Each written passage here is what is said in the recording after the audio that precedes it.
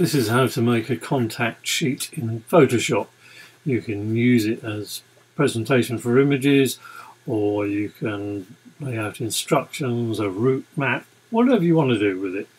But get all the images you want to use into a folder, rename the images uh, in alphabetical order if you can, uh, even if it's image A, then a brief description after it, as long as it will sort itself into alphabetical order correctly, that's all you need to do. Alphabetical order works much better than numerical order, as I just discovered. Anyway, open up Photoshop, go to File, Automate, Contact Sheet 2. Now we're going to end up eventually with a sheet of A4, but I want to make it smaller to start with. Uh, we'll make it 21 by 21 centimetres instead of 21 by 29.7. I'll add the extra 8.7 centimetres on the bottom so there's going to be room to put some text in. So we're going to make three, three columns by four rows. Um, fits better that way with landscape images. If you've got portrait images, make it 4 by 3 or whatever fits for you. 8-bit colours fine. We don't want to flatten it. When we've got everything in, it will come in separate layers, just in case you need to move anything around. Much easier when it's when it's in layers. We don't need to include any subfolders. We're just going to import the contents of a folder. I've already chosen the folder. It's an old calendar on which I'll re rename the images in. So hit OK.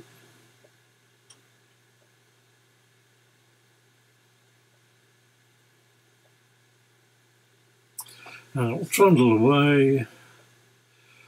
Um, and trundling away. Trouble is it's importing some quite chunky images from full-size images from a Nikon D800 so they're 7360 by 4912 pixels each. So it's importing them and resizing them on the fly. All, all 12 of them. So 12 to process 1236 megabyte images takes a bit of grunt. So be patient Oh, there we go. Right, ignore the grid I've got over this. That's my default setting. So Control H or Command H will get rid of the grid. Right, there we go. All in nice alphabetical order. A, B, C, D, E, F, G, H, I, J, K, L. And that's it. Now we want to come down to the bottom layer, the background, and just increase the size of, of the thing we're working with. So the canvas size we want to increase, and we want to increase it going downwards. Think. Let's change it back to centimetres so it all makes sense. So we want the new height, and don't tick relative, so the new height is 29.7. Yeah. Uh, click on that, double check everything, click on that. Pop on. So if I go con control zero or command zero on a Mac, I'll just resize it so you can see what you've got. Now, oops. Everything's in the right place. Go back to the background layer. Text. It's the same text as I've got elsewhere, which is Marion in this case, regular 14 point. So we want our copy a little, little bigger than that. So let's do 18 point, and we want it all to align left. Well, I'm just going to drag out something. Control point there. I'm just going to go there. I'll type in very good little lamb two three. Two three even oops didn't mean to drag that out. Get back. Put it back where you want it. If you drag that guide in it'll just bump up against it if you move it over slowly.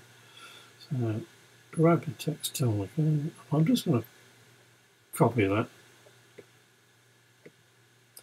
Just paste. Oops. I'll try copying that again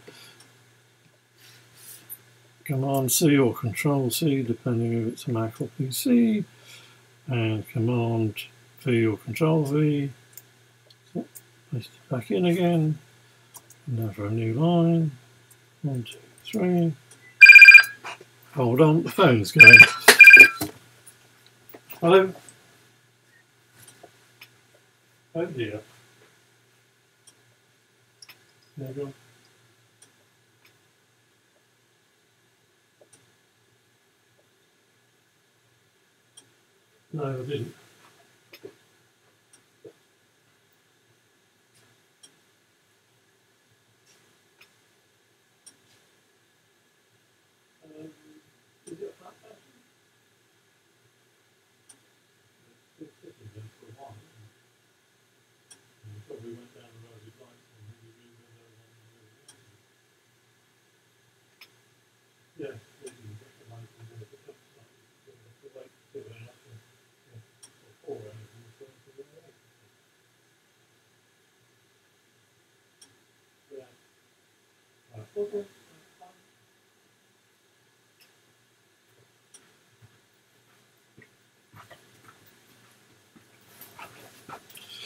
Right, sorry about that.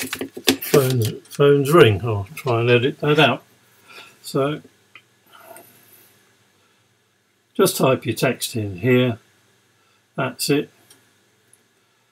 You can save you can save it as a TIFF or a PSD if you want to keep all the layers or you can go to file. It won't let you hang on. Go to the top layer. File. Export. I'll go export as rather than a quick JPEG. Export as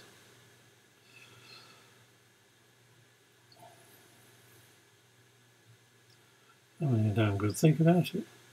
JPEG, full quality. I've got my copyright in there. I'm going to save it as a sRGB and when it's finished spinning I'll embed the colour profile. I'll export it all. I'll stick it in the same So it's named it contact sheet one.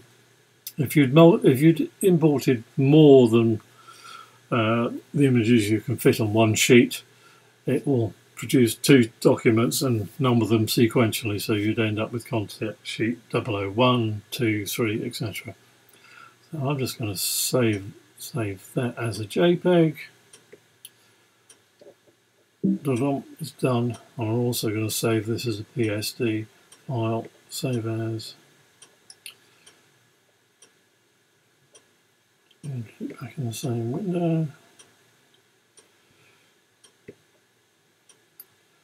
Um, well Photoshop PSD where are you? Photoshop right at the top. Alright and save.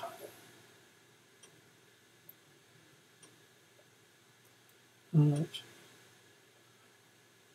Close the file and that's it. And you can edit the PSD away to the, your heart's content. You can move the images around if you want. Um, or you can just print or publish the JPEGs. Easy as that. Thanks very much. Hope that helped. Sorry about sorry about the phone ringing in the middle of all this. Bye.